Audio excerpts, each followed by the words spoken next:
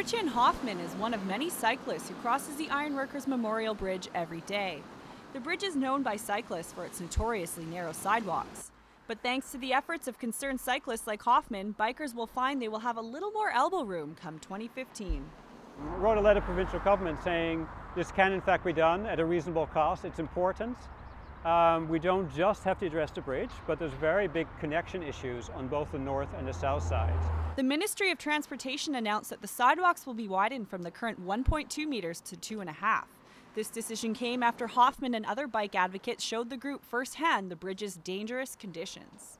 We had a meeting with the Ministry of Transportation. They came out here and with their bikes and we rode a bridge with them and showed them and uh, they agreed. It was, uh, it's a pretty horrible experience. These sidewalks are barely wide enough to cycle on.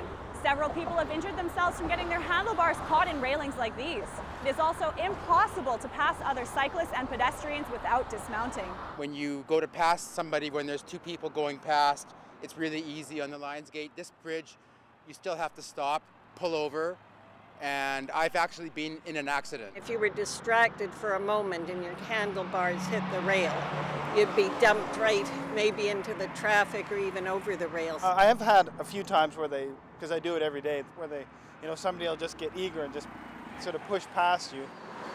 Hoffman hopes the upgrades will eliminate these issues and encourage more people to get pedaling. I think wider lanes and improving the connection to the north and the south end um, I think a lot of people who are now concerned about riding this bridge um, are going to feel that uh, maybe they can do it. Details about construction and costs will be available in June when the tendering process is complete.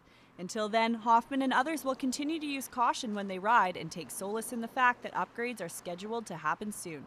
Jillian Stead in North Vancouver for BCIT Magazine.